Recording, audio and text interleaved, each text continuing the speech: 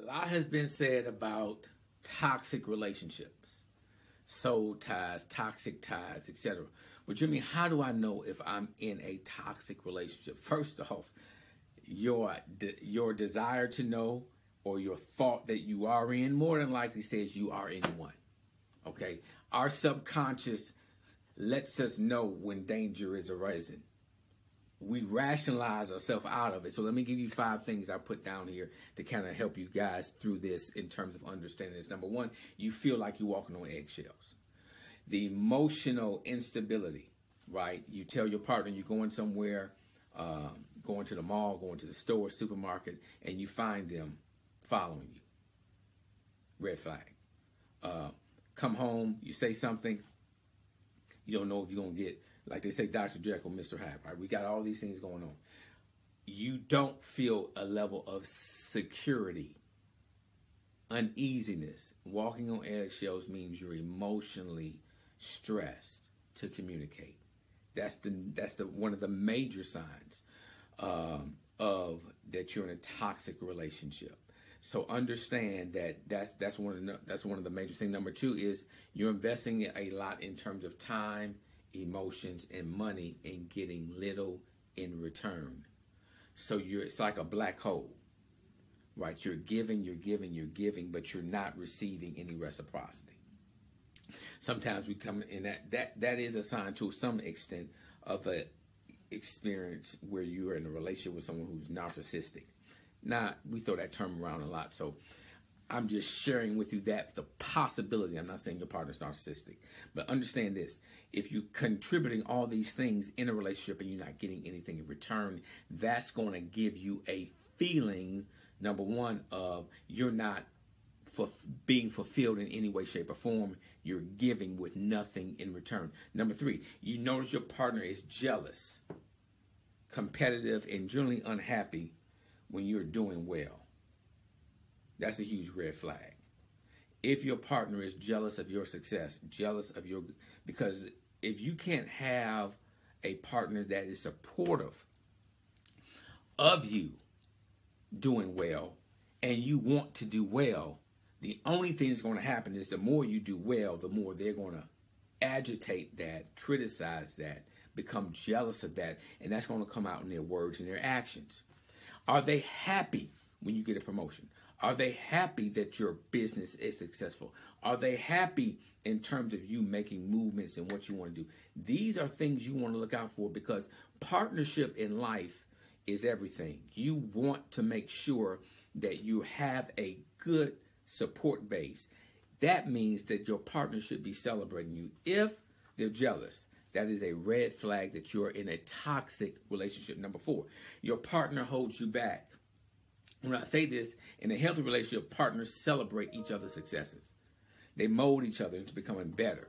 But when you're when you're doing the opposite of that, your partner is criticizing you, making you feel bad. That progress is something wrong with you because you're progressing. Get out. You can't help that person. You can't heal that person. That person is hurting you, hurting who you are, and hurting who you want to become. Number five, you lack independence. They're taking full control of you, who you are, your sense of identity, control. You feel more restricted. They got all these different rules for you. Get out of that relationship. It's killing you. It's toxic. No one should manipulate you into becoming and doing something right? Don't go here with your family. Don't go over there with your friends. Get away from them or her. They're killing you in the relationship. It's manipulating, it's gaslighting. Stay away from that type of individual because they are crippling who you are and who you're supposed to become. So understand number six red flag you you lack here it is this is this is this is one of the things that just kind of it gets me your sense of self-worth is lost Right. Who you are in your own eyes has dramatically declined since you've been with this person. You've allowed their words to define you. You allowed their contradictory statements of who you are and your level of success or whatever you're doing. They they brought you down. your worth should never be determined by your partner. They should only support your idea of who you are. But you should never enter a relationship here in terms of your thought about yourself, idea about yourself, and right now you're down here. Your friends will more likely tell you you're looking bad. Real close friends. What's going on? Get out of that relationship. It's toxic. It's killing you. Toxic relationships cannot be healed. I'm going, I'm to say that again because I want you to understand this. It cannot be healed. Time does not give these things solutions. It's understanding that you and this person should not be together.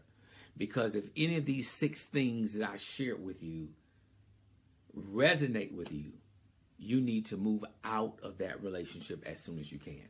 Because that those are the type of things that hurt you and the possibility of doing well in life. And we only got one life. That's it.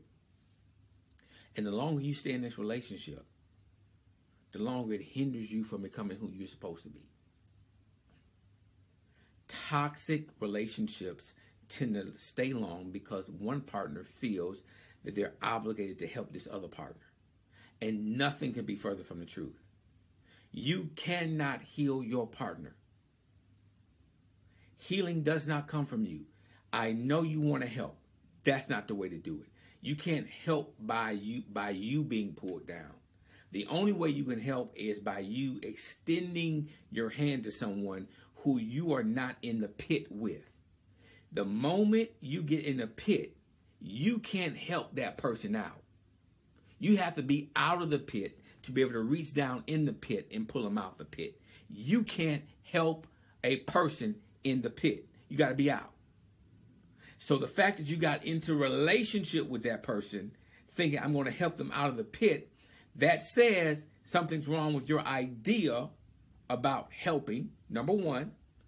Also, I would question and ask questions about your upbringing, your experiences growing up, your emotional gaps, your traumatic childhood experiences, because that's speaking a lot to your need to help someone who's not helping themselves or not seeking healing for themselves. A person has to want to be healed. You are not the healer. I'm not the healer. But if someone wants help, I understand I'm not in the pit with them. I can help them. That's why I'm, I'm not, when people come to me, I'm not in their relationship. That's why they come to me. I'm not in the pit with them. So I can help them because I can see what they can't see because I have a different view than they have, different vantage point when you're not in a relationship. That's why athletes, professional sports, especially like football, they have coaches in the skybox because they have a different vantage view. So they're not on the field with them. Understand, guys, you cannot heal your partner. So you the best thing you can do is get away from them, especially when they're impacting who you are and your perception of yourself. Now help couples consistently through various ways. One is through counseling and coaching, another through an online platform that I have uh, that actually has courses that you can download. Also, I have a three day group communication intensive I do every month.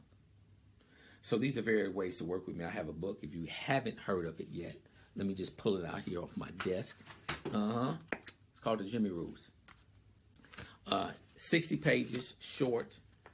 A lot of a lot of content in here to help you move beyond. Very easy, practical, easy to read, short book, but has a and will have a huge impact on your perception of you and your relationship. So I encourage you to get one of those different things to work with me so I can help you through your relationship and your challenges. We'll talk soon, guys.